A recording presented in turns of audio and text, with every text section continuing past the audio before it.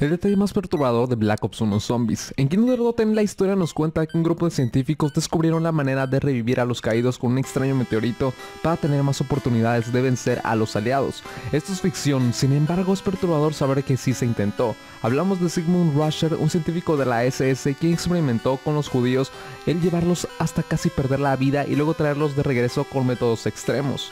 El más conocido fue dejarlos en fríos extremos por 14 horas desnudos o meterlos en mañanas congeladas por 3 horas y traerlos de vuelta metiéndolos en agua hirviendo e incluso con servicios sexuales de prisioneras ya que se creía que el calor animal sería suficiente. Y sígueme en mi Insta porfa.